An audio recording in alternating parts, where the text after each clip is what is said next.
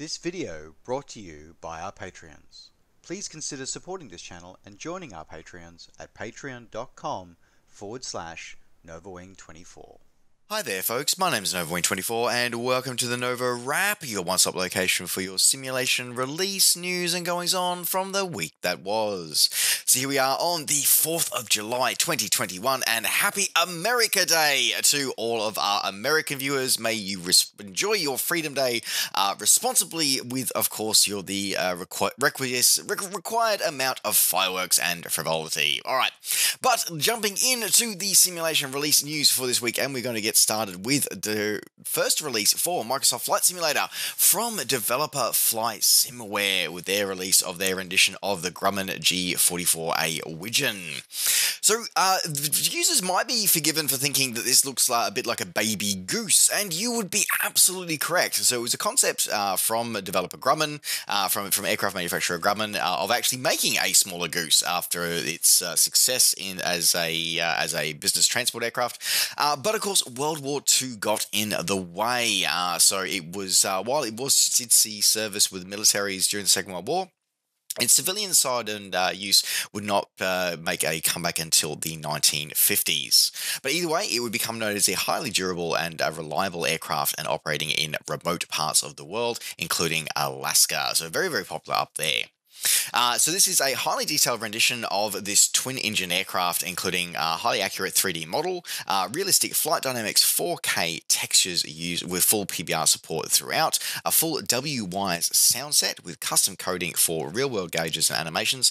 Um, it is a modern-esque cockpit. I mean, the aircraft is a very basic aircraft. Or not, yeah, not ba- basic's possibly the wrong word, but um, it does uh, sort of uh, provide. A, it is designed to be a more modern rather than a straight off the factory floor rendition of the aircraft. So therefore, it does include a couple of modern mod cons, including some basic Garmin equipment included as well.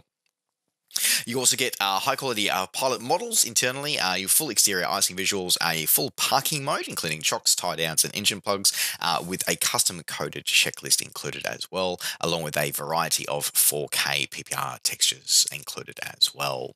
And if you want to pick this one up for your flight simulation experience, you can pick this one up for 30 US dollars or your original equivalent, available now from FlySimware's store.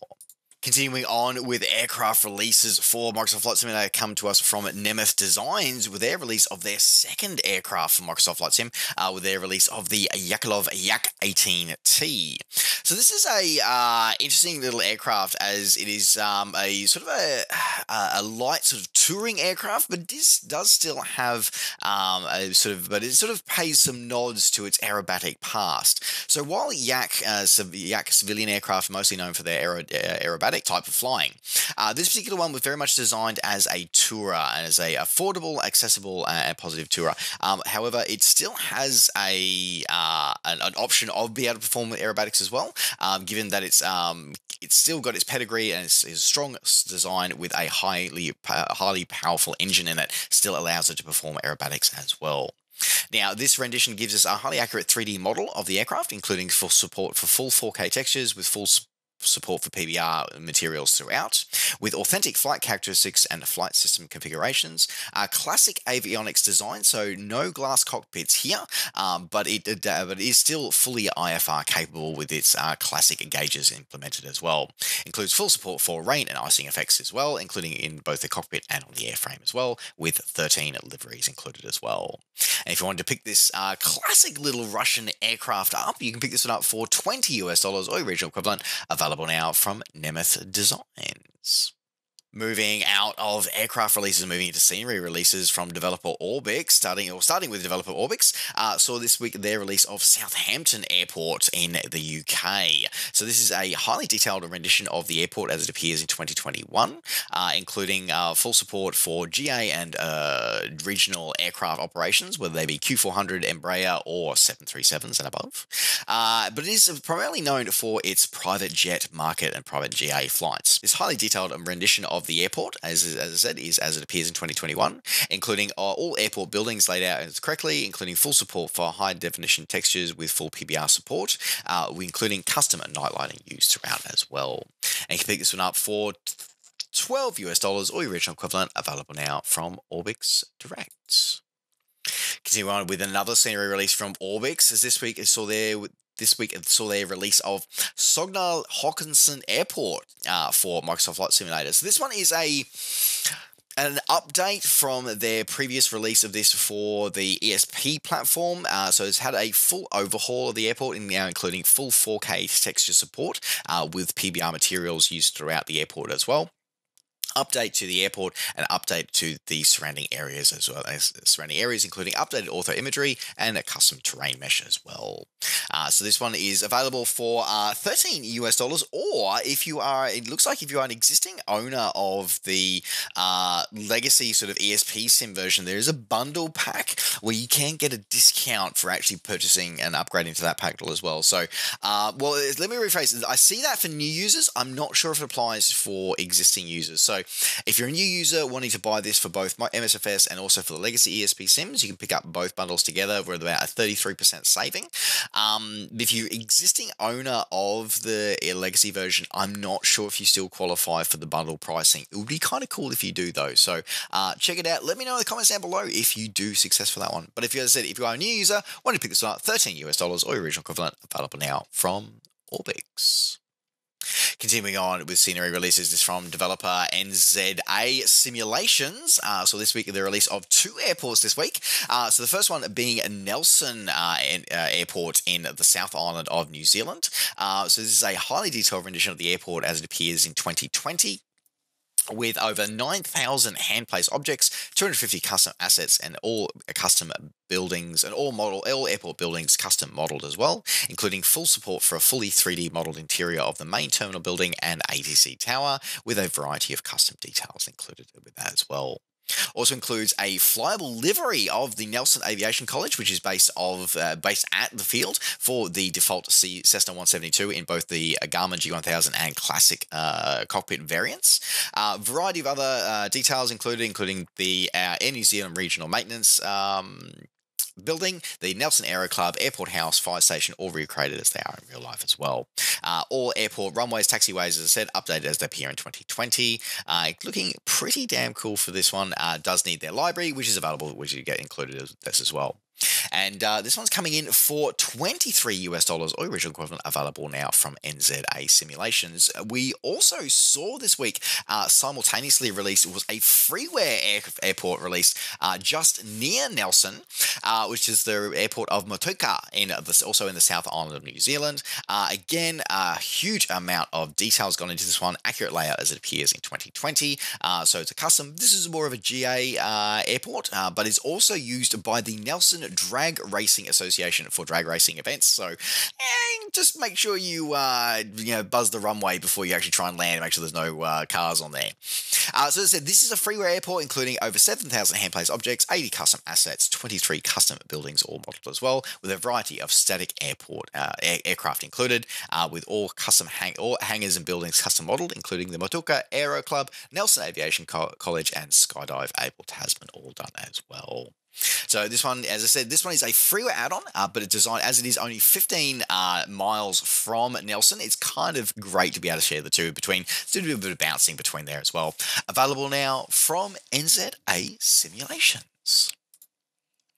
Continuing on with scenery releases, this time from developer Skyline Simulations, saw this week the release of their rendition of Long Beach Airport in California. Uh, so this is a highly detailed airport uh, version of the airport, which is mostly a business jet and uh, business jet uh, airport, though it does support some small regional airline services as well. Um, but it's still the 10th busiest airport in California. Uh, so includes a highly detailed rendition of the airport, accurate airport layouts appears in 2020, including uh, 4K textures with full PBR materials on all airport buildings as well, with highly accurate 3D models uh, done of all major airport buildings included as well, along with a, a custom terrain mesh and custom runway slope, uh, custom runway undulations, uh, also included as well, with custom uh, high resolution ortho imagery for the airport and surrounding area and blended into the default sim as well.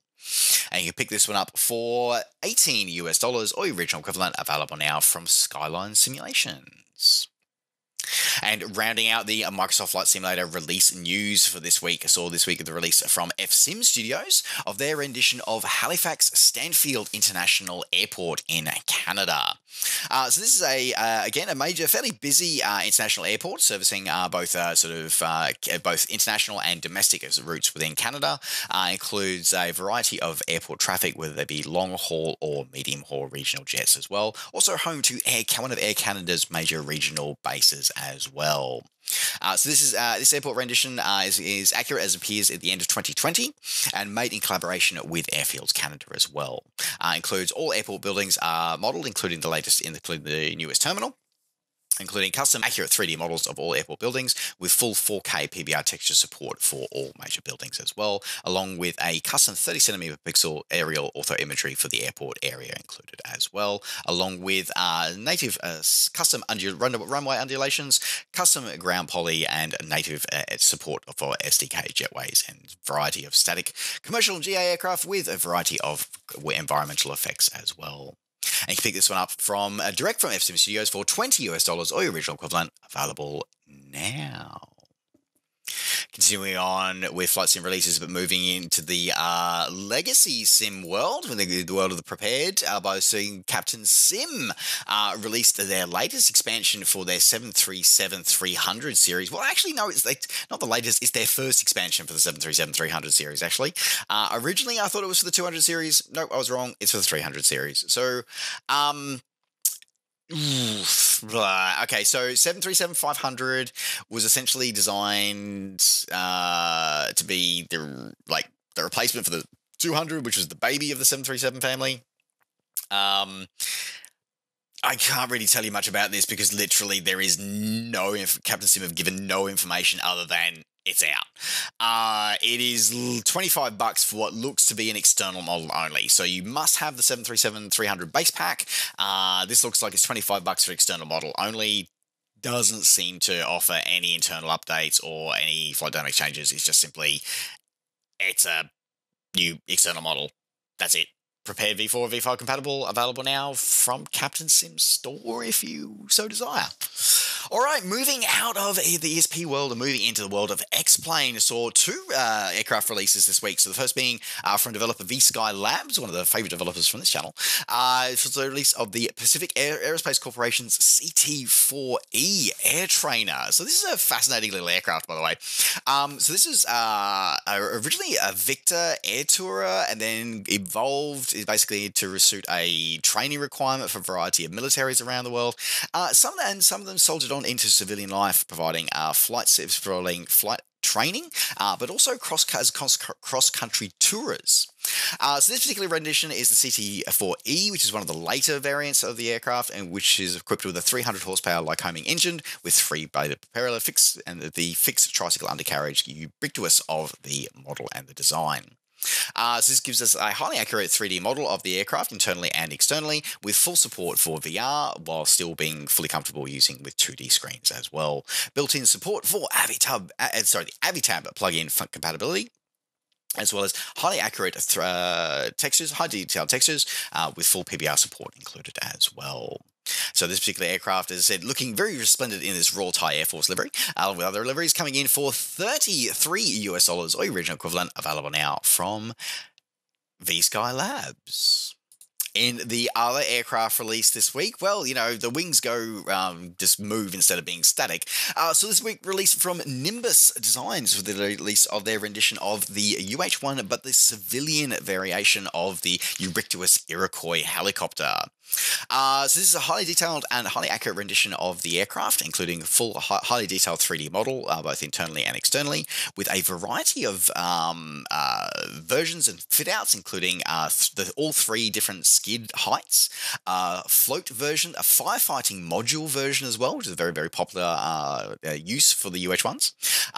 includes a full PBR textures, full 4K textures, and with PBR support throughout, used throughout, full VR support included as well, with a variety of accurate systems modeling done internally for uh, fuel, electric, hydraulic systems, and more, uh, as well as uh, including accurate handling and flight characteristics characteristics based off real performance charts. Overall, looking pretty damn good, and I must admit that our good friend Belgio from uh, the Three Grumpy Simmers is giving it his thumbs up, I do believe, as well. So if you wanted to pick this one up, you can pick this one up for 38 US dollars or your regional equivalent, available now from xplane.org. continuing on with uh, simulation releases. Uh, so this week saw this release from uh, Eagle Dynamics of their latest terrain, the latest map. Uh, so the release of DCS Marianas. Uh, so this is a really interesting uh, map this week. so this is a the Marianas, their rendition, their rendition of the Marianas Archipelago, of, which is best basically about 2,000 kilometers south of Japan. Includes Guam, Rota, Tinian, and Saipan, as well as the variety of the lesser known islands as well. Includes a highly detailed rendition of Andersen Air Force Base on Guam, uh, which is the US's uh, main uh, base in the Western Pacific. Now, as I said, this is a free map set actually to the community as well. No charge for this one.